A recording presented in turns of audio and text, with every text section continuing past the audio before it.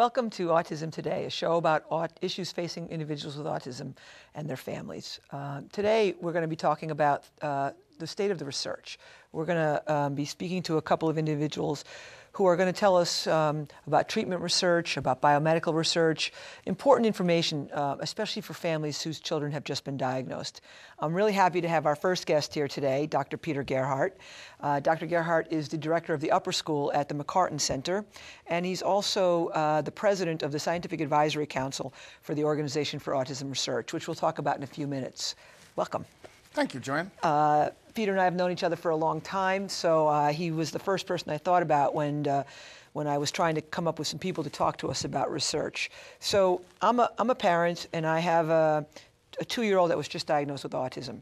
I run to the internet, and I scour, and I find 50 million different things that the internet is telling me I should do what, what does the research, as, a, as a clinician, what does the research right now support? What does it tell us that we should be doing?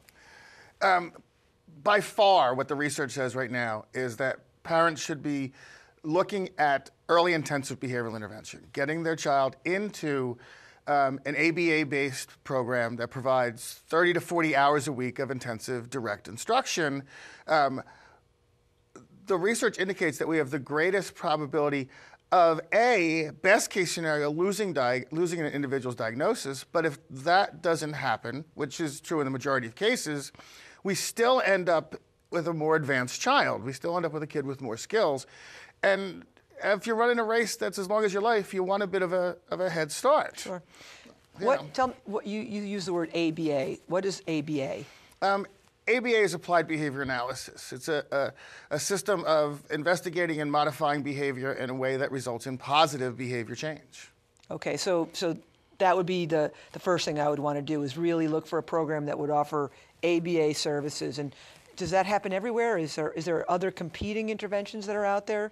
Oh, you know, there are any number of competing interventions out there. Um, I think at last uh, count on one internet site, there's something like 280 different autism interventions wow. that are available, of which only about four have any research to support um, that they have any efficacy whatsoever.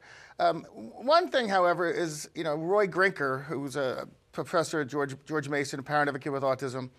Um, he, he one time said that when he was his child was growing up, he said one of the challenges was that there was nothing you could do. You didn't know what to do. There was no information. Right. He said he said now parents are sort of overwhelmed with information. And then he went on to say, and now there's plenty you can do. He said much of it doesn't work. He said, but at least you feel like you're doing something. Right, right. But what's the harm? I mean, I, I guess if I looked on the internet and I didn't weed out what was research based and what wasn't, and I just said, well, let me try this, but there's no evidence that says it works, what's the harm? Well, you know, the harm is, especially with young kids, is that we have a, a relatively small window of opportunity um, to really interact, because all, all learning is brain based learning. Like you actually change the brain when you learn something new. Um, neuroplasticity, we know, is at its highest with very young kids. So if we want to enact as much change in how the brain takes in information and processes information, like that's our optimal time to do it.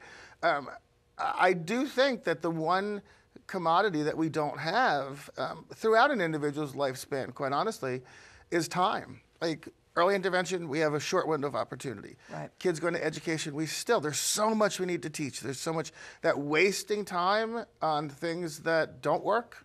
Right. Um, I think that's the cost. Sure. The cost isn't dollars, the cost isn't health issues in many cases, but the cost is wasted time. Right. So um, the research now basically supports that applied behavior analysis done intensively, done early, is your best shot. Absolutely. And I'm a parent. Where do I go to find it? Well, every uh, every state has a state association for behavior analysis, but also um, contact other parents. Like, mm. you know, go to go on the website, type in ABA, find somebody who is. Um, or a program that hires board certified behavior analysts. Mm-hmm. Those are the people that you really want. Those are the people that understand um, applied behavior analysis, particularly as how it may relate to your son, your daughter, um, at particularly that given point of your life. So, um, one of the challenges is that there's not a lot of good providers out there right, now, given the numbers of kids being diagnosed. Right, right. Um, so parents need to start early and don't be afraid to push a little to get into a program. Right. Okay, that's great. So um, I, I know, as I said when I when we first started talking, that there's a million different things out there on the internet. But at, in your role as the uh, scientific um, advisory council president for OAR, uh, which provides funding for applied research, um, you guys have funded so much research in the last decade. Just tell me, maybe in very briefly, one or two really exciting projects, things that you think might really impact on the lives of people today. Well, you know, it, it's interesting because sometimes you fund a study and you're not really sure where it's going to go. You think it's a good idea, um, you think the data are going to be valuable, but you're, you're not 100% sure. But um, and you know, as being a member of the council, that probably seven years ago we funded a study by Karen Pierce out of UC San Diego, which um, actually looked at developing brains of very young children of baby SIBS projects. Which we were like, this is important, but do we? Is this what OAR wants to do? And um, she then used the. We funded it, but she then used the results of her pilot data from our study um, to get another grant and then another grant, and now she's doing research looking at eye tracking of infant SIBS that actually results in about a 70% prediction rate for whether or not a child will later develop autism Yeah. At the age of one. Yeah, that's we talked about that in our first show um, about how important it is to try and get kids diagnosed earlier and earlier while we've got this brain plasticity. Yeah, that's great. How about you know for 15 year olds or 18 year olds? What's happening in the in the treatment research for that population? Well, you know, I think we also funded, which I think is, is a really interesting study because it did nothing directly to individuals with autism, which was John Campbell out of the University of Georgia, where he looked at how much information and at what form do you give peers of kids with autism who are included to promote social inclusion. So he said, let's stop worrying about changing his behavior. Let's change the behavior of everybody else in his class. Yeah, wouldn't that be great? Yeah, which was a really nice, um, a nice approach. Um, getting into adulthood, you know, we have Paul Wehman who looked at how do we get kids competitively employed, Yeah. kids with classic autism competitively employed, and now we have Paul Shattuck um, going through what's known as the National Longitudinal Transition Survey data, the the NSL, NSTL. Um, and in effect data mining and he's coming up with some really interesting results about what services kids had before they graduated and now don't have after like whether kids are working Right. or not working do they have friendships you know it's uh, information that we've sort of known anecdotally but now we're getting the data to support Right. um, that that chasm that kids face really is a chasm Right. Uh, we have a few more minutes before we go to the break, so let's kind of wrap this uh, part up by maybe trying to explain to a parent um, what are some things they can think about when they're looking in the internet or they're talking to somebody or reading a magazine article about how do you know uh, good research from bad research or good research from no research? Like just a couple quick pointers that might help them navigate this system out there. Yeah, um, uh, number one, it, it really is, you know, research, research, research. And the fact of the matter is, you know, three stories don't constitute research. Right. You know, just because there are three anecdotes about this, it doesn't mean it's research based.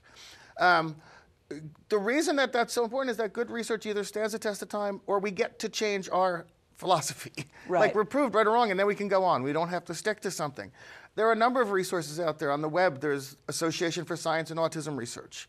There is the Organization for Autism Research, and we have a number of guidebooks, including a parent's guide to research, so Right. they can actually understand the difference between what's research and what's not research, and good research versus very good research, and even there's some bad research out there that gets published. And So- they can they can download these guides for free. through the- absolutely right. They're yeah. free PDFs that they can get. Yeah, it's a great So- it's a great resource. So great, terrific. Uh, I'm going to have you stick around, but we're going to go for a break right now, and then when uh, we come back, we're going to have Dr. Eileen Hopkins talking to us a little bit about the biomedical research and what's happening in that area.